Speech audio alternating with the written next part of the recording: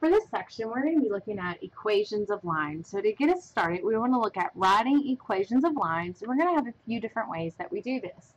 So the first approach you want to take is doing something called a slope-intercept form.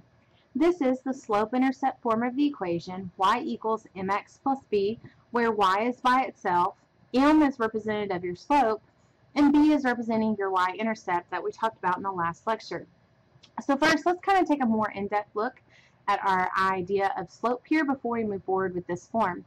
Slope refers to the ratio of the vertical change in y over the horizontal change in x between any two points on a line. It indicates that the direction in which a line slants as well as its steepness. Sometimes has been described as rise over run. This formula here is important. You'll want to memorize this, work with this, maybe make you a little formula sheet as you work through your homework. When you're trying to find slope between two points, this is the formula that you will use. y2 minus y1 over x2 minus x1. You'll be able to plug in your values, do your subtraction, and then finally do your division. Most often, your slope will be portrayed either as an integer, like a positive or negative number, or as a fraction. Rarely do we try to convert this into a decimal. Often, your slopes will be defined between these four different slopes. You've got your positive slope. Remember, you read your graph from left to right. So you can see that this slope is going up. You have your negative slope. You can see it's going down. We do not reverse it and say, well, if we go this way, it's going up. You read it just like you're reading a book. So from left to right, you can see it's going down. Zero slope, which is a horizontal line, and vertical slope, has a slope of undefined. I normally keep the difference between these because if you think about, if you're watching movies or maybe you actually go and you ski, they talk about let's go hit the slopes. Well, when you're first learning how to ski, you really don't take on super negative slopes. You kind of take on ones that are still negative, but maybe the bunny slopes, you're learning how to control the skis, how to stop, how to kind of speed up, turn, etc. Um, so you might even start on zero slope, just kind of get yourself going.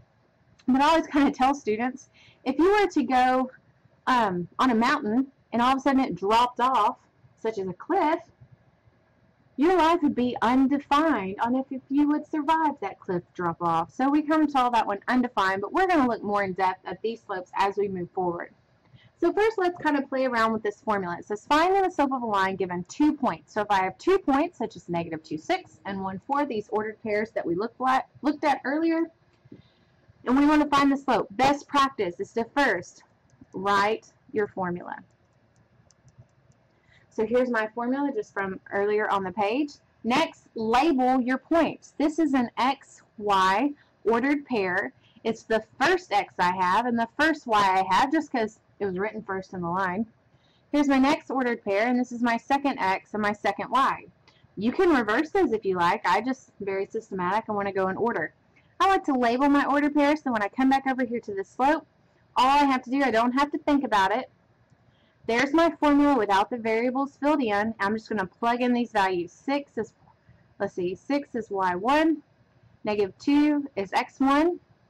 Notice this is a minus from the formula, a negative from the 2.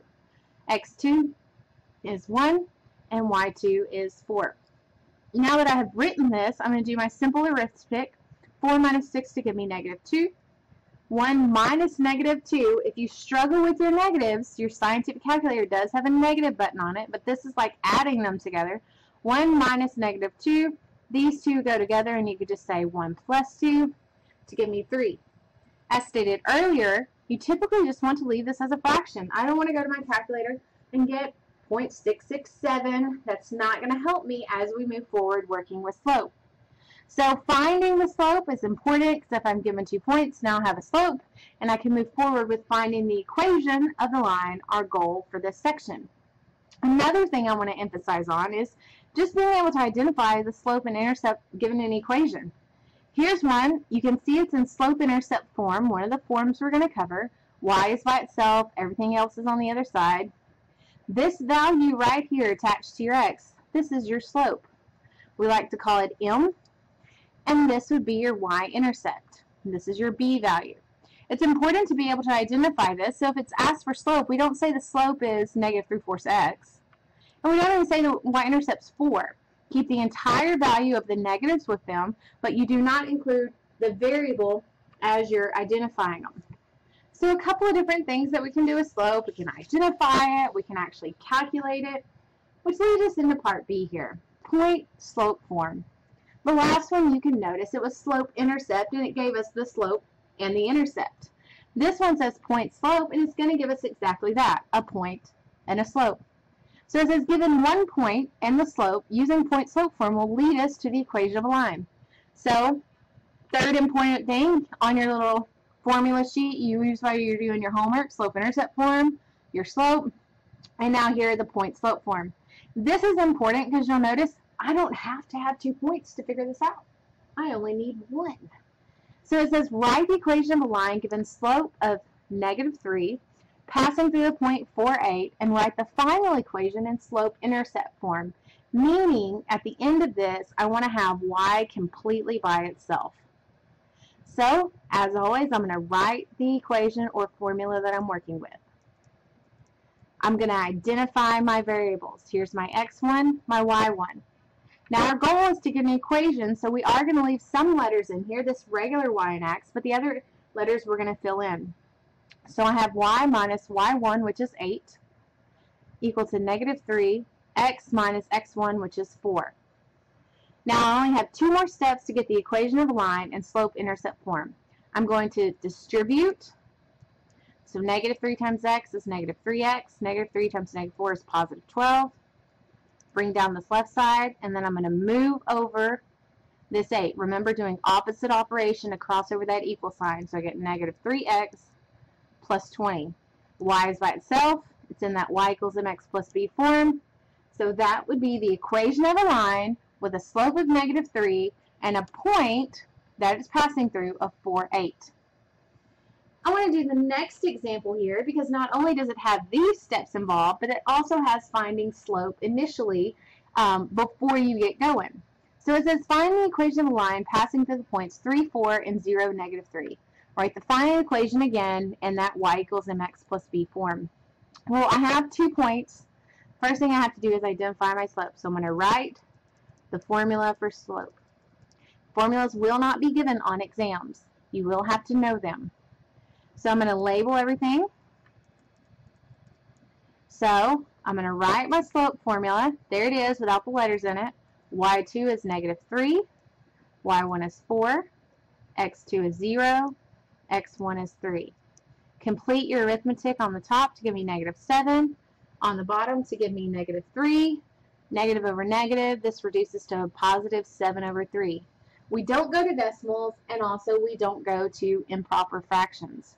Next step is I'm trying to find the equation. So I'm going to take this slope that I know, this first point that I know, and I'm going to use that new point slope form to help me finish out this problem. So again, I wrote my formula. I'm going to write it with everything but the letters I'm going to fill in. I'm going to fill in these values. Don't be scared of fractions. Just follow your steps. Go slowly. I'm going to distribute, so I get 7 over 3x, no problem. Minus 7 over 3 times 3, use your calculator or use what you know about multiplying fractions. This gives me just negative 7. Add the 4 over to the other side, and I get y equal to 7 over 3x minus 3. So this one did have the added step of having to find our slope to start with, but again, no big deal, we can do that. The next form is not a very familiar form or usable form or graphable form. We normally have to convert it out, but I do want to touch base on it. It's the standard form of a line. It's when you have it in the form of ax plus by equal to c.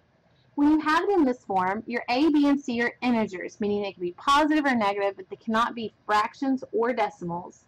The x and y terms are on one side of the equation, so you can see they're over here, and it's equal to the constant term on the other side. So it's kind of a nice way to get your equation in, but it's not as beneficial as our other ones, so I want to expose you to it, but I'm not going to work any examples leading up to that. These last two are very important because they don't really fit the mold of our slope-intercept form or point-slope form because they're very basic equations. Um, it doesn't make us compute the slope or anything, so let's talk about vertical and horizontal lines. A vertical line is in the form of x equal to c. When it's in this form of x equal to c, it says c is a constant, that's just a numeric value that doesn't change. And the slope of a vertical line is undefined. We just talked about that. And regardless of the y value on any point of the line, the x coordinate of the point will be your c. So something I want you to notice is, look at this line, this graph right here. If I were to pick a point here, yes, this would be negative 3, 0. Pick a point here, negative 3, 1. Pick a point here, negative 3, 2. You notice all the x values are negative 3. So just writing the equation x equals negative 3 would clarify to me that this is a vertical line going through negative 3. It is irrelevant for me to look at all the different changing y values because just the negative 3 is lining them up to get that vertical line. Similar story can be said about the horizontal line. It is y equal to c, or as I just say, it's just y equal to a number, where c is the constant, and the slope of the horizontal line is 0 for any x value of the point on the line. The y coordinate will be c. So you'll notice here's my horizontal line. I just call it y equals negative 2. Again, if I were to pick points along here, this is negative 2, 0, negative 2, negative 1, negative 2, 2, excuse me, this is negative 1, negative 2, and this is 2, negative 2. You can see they all have, I wrote that backwards, they all have this negative 2 value as you go.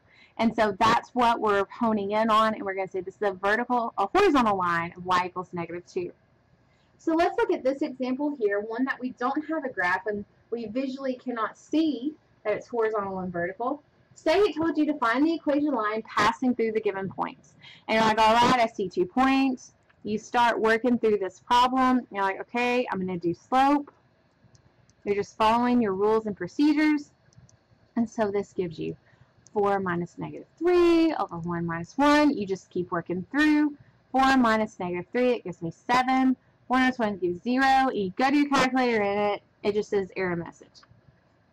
Well, this you can't ever divide by zero.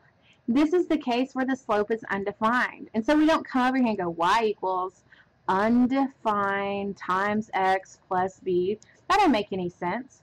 Notice these both have an x value in common. So if I'm just creating a line going through these two points, my x values are exactly the same. So my equation would be x equal to 1. This is the case of a vertical line. So it's okay if you're just following your steps and procedures. You start trying to find that slope, but just make sure you know how to interpret this. You can't leave an answer as 7 over 0. If it says, what's the slope? Undefined is the correct answer. 7 over 0 does not get you full credit. Lastly, if you're looking for the equation of the line, none of this tells me the equation of the line. x equals 1 is the equation. So just be careful as you encounter these horizontal and vertical lines as you practice through. The last concept we're going to be looking at is the concept of parallel and perpendicular lines. We'll start with parallel. Parallel lines will never intersect. Thus, they have the same slope. Or you might say M1 and M2, the two slopes you're comparing are exactly the same. Pictorially is normally where you can kind of understand better the parallel lines. You can see that these are never going to intersect no matter where I space them out or how far I draw them out. And you'll notice just looking at these equations, 2 is what they have in common. That slope or incline or steepness is what's keeping them from intersecting. And so with parallel lines, we say they have the same slope. I am not concerned with if their y-intercepts are the same or not. I'm just wanting to look at their slopes. So if you are wanting to find an equation of a line that is parallel to something given, you're going to identify the slope, substitute and simplify. So let me show you what that looks like here. Find a line parallel to the graph of y equals 3x plus 6 that passes through the point 3, 0. So I want it to go through this point and be parallel to this line. So what do I need from this equation? I need that slope right there. If this slope is 3, my slope on my new line is going to be 3. Take that with your point 3, 0, use your point slope form and you'll be able to find the equation that is parallel and going through that point, which would be y equals 3x minus 3. So just adding in, being able to identify the slope that I need, and then following the steps from previous problems.